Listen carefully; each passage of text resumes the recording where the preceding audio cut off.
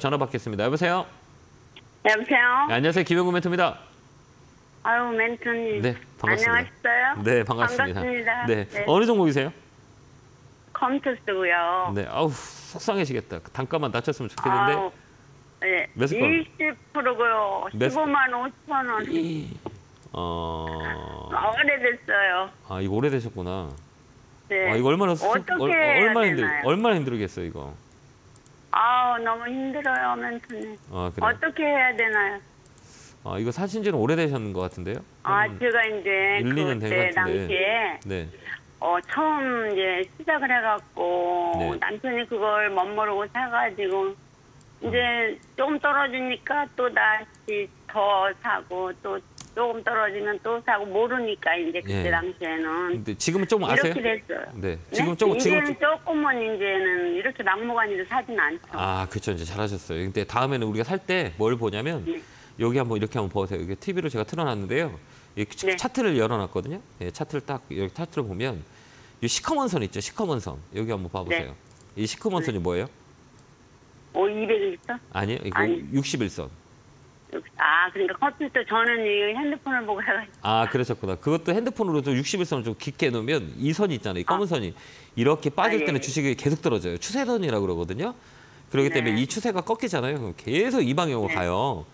이거 아, 뭐냐면 네. 여기다 이제는 예. 조금은 알아요. 아, 그렇죠. 이제 요 이제 다음부터는 이제 주식을 살 때는 어 61선이 네. 위로 올라갔을 때가 사는 게 좋을 거예요. 아, 이걸 네네. 이렇게 움직일 때 주가가 이렇게 하면 추세가 살았다 그러고 또 추세가 꺾이면 계속 떨어져요. 또 추세가 올라가면 61선 이제 먼저 움직여요. 또 추세가 꺾인다 이렇게 61선이 쭉 빠져. 근데 여기서 계속 어 단가를 낮으면 계속 떨어지는 거예요. 이게 어, 많게는 2년 빠져요. 그걸 몰라가지고 아. 그때 딱 계속 산 거 조금 떨어지면 또 그러니까 이- 이제 알면 돼요. 이제 느꼈잖아요. 이제 느끼면 이제 다음에 네. 이제 벌면 되는 거야. 그죠? 네. 예, 이제 이걸 모르냐 아냐 차이고 뭐 앞으로 뭐 주식할 수 있는 시간들이 되게 많잖아요. 그러니까 네. 이때 어, 우리가 잘 알고 있으면 다음에는 어, 이거를 내가 적용해서 그동안 어, 손해 본 걸 복수하리라 이렇게 생각하면 돼요. 알겠죠? 네, 네. 근데 이 게임주는 좀 안 좋아요. 그 안 좋았던 건 뭐냐면 이 주식이 참 어, 공평한 게 뭐냐면 이 코로나 때 특수 얻어가지고 게임주들을 많이 움직였거든요.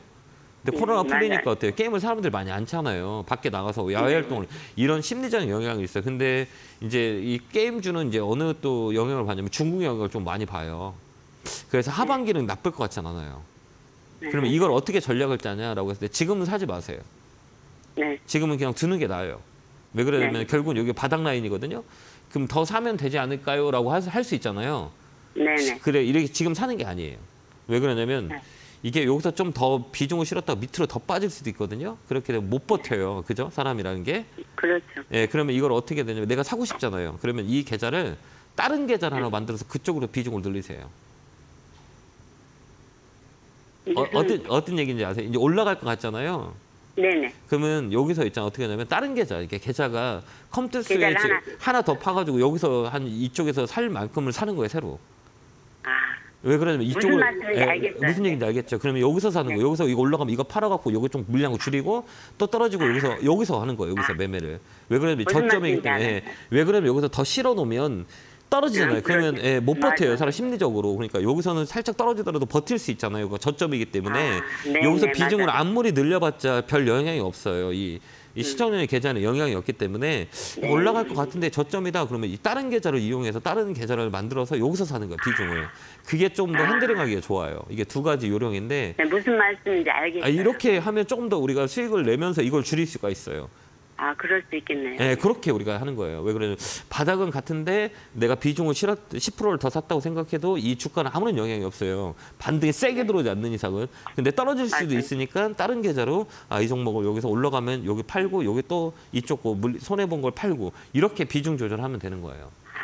그래야 되면 조금 더 어, 커버를 할 수 있어요. 그렇게 한번 근데 해보시고요. 네. 만- 멘토님 저기 언제 공격적으로 사냐? 올라와도 네. 올라 뭐를 올라와도 어느 선에서 팔아야 될까 그거가 어, 이건 이제 일단 뭐가 중요한 거냐면 이제 6만 5천 원짜리를 넘어가면 돼요. 6만 5천 원까지는 기술적 반등이 들어오거든요. 거기서부터는 추세가 돌려요.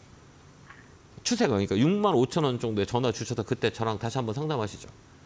그때까지는 추세가 holding. 돌린다는 거 우- 우회 방향으로 예, 그때 추세. 돌릴 거예요. 예. 아, 이 6만 사이클, 5천 원 예, 선에. 사이클이거든요. 이거 월봉도 마찬가지고 주봉도 봐도 마찬가지고 이런 것들은 사이클을 봐야 돼. 사이클. 저점 나왔기 이 그러는데. 적저점이에요. 그러니까 네. 이 종목은 근데 육- 언제 어느 선에서 팔아야 되나 그게 제일 궁금한 거예요. 어, 그러니까 뭐냐면 이제 뭐냐 중요한 건 뭐냐면 이런 것들은 많이 떨어졌잖아요. 이런 예. 거 많이 떨어지면 주식이 거- 뭐 정답은 아니지만 이 패턴을 보면 25%까지 올라와요. 그러니까 뭐냐면 어, 이 자리에서 이 가장 중요한 거는 중간 이렇게 중간가까지 올라오거든요. 이게 역사적 중간가까지 오고 그다음에 이런 저점은 여기 이 머리 위까지 올라와요. 이 라인 있죠? 요 라인까지 7만 5천 원, 6만 5천 원 넘어가면 여기까지 올라와요. 이게 기술적 반등이거든요. 그 다음부터는 이제 실적이라든지 업황에 따라서 더 레벨업이 돼요. 그러니까 여기까지는 갖고 있다가 여기서 우리가 분석을 하면 돼요. 뭐 그렇게 한번 생각을 해서 네. 그렇게 한번 생각해 보세요.